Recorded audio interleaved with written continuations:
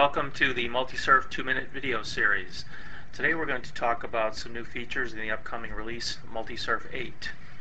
Uh, we're going to load some components. The major thrust of the release is uh, enhancements to components.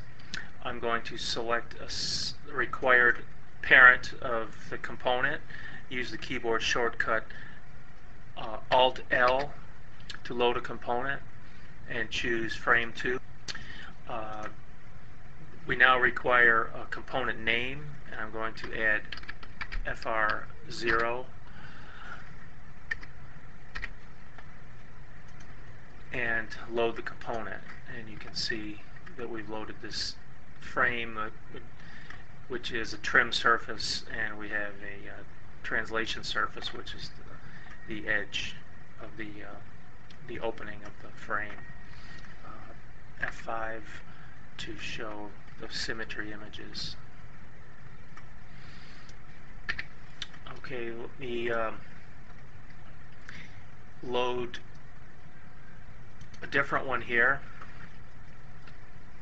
Alt L and load frame 1 and we're going to call this FR4 and now we see we have a trim surface with the translation surface um, edging. Uh, we've included uh, a flat floor and also lightning holes um, in the trim surface. I'm going to uh, load the rest of the components and now to load the last component at frame 10 alt L. We're using frame 2 for this. Give it a name of FR10 and OK. Onto the new we look at the component. We have a new heading in our entity manager under components. And there is all our components listed. We can, any time. we can right click and see a context sensitive menu. We can select the component. We can delete the component, pick another component here. We can uh, show, hide the component.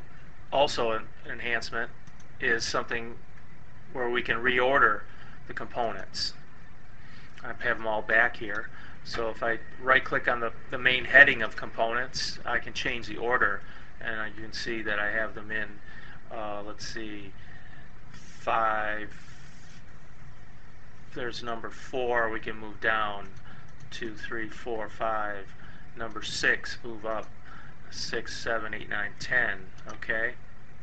Now you can see we have them in the order that we like from 0 to 10 and we can proceed from there. Uh, uh, so we did this enhancement to have a, a, better handle on larger models, to be able to compartmentalize your model by the components, and we're working towards sort of a model that can be seen as, as an assembly of, of parts.